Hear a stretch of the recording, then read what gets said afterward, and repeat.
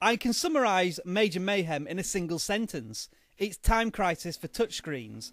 The problem is you probably haven't heard of Time Crisis, so allow me to explain. Major Mayhem is a cover and fire on the rails shooter. There's no sophistication to this. You shoot stuff, stuff shoots back at you. You kill or be killed.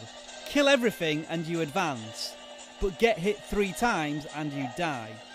Your character will always start behind a piece of cover that protects you, but to shoot at enemies, you have to tap on that part of the screen.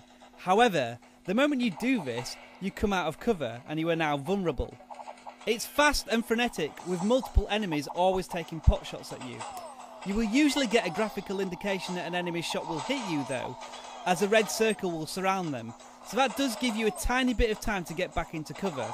When you take your thumb off the screen, you stop firing and drop back into cover. Occasionally, white scientists will appear in the field. Make sure you don't shoot them because they will either replenish your energy, give you money, or special abilities such as this Matrix bullet time mode. Each of the classic mode levels last about 2 to 3 minutes, so it's fantastic snack sized gaming. And yet again, the 7 inch size of the Nexus is perfect. On a smartphone, it's too small to shoot accurately at stuff.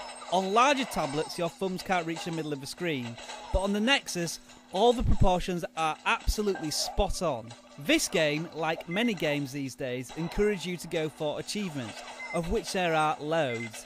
Achievements give you extra currency, which allows you to buy new clothes, supplies, and weapons uh, from the store.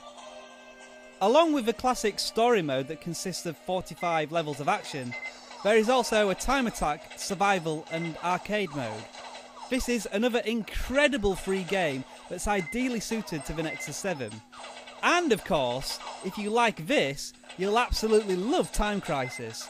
The only trouble is, you'll need a PlayStation 1, a light gun, and a copy of the game.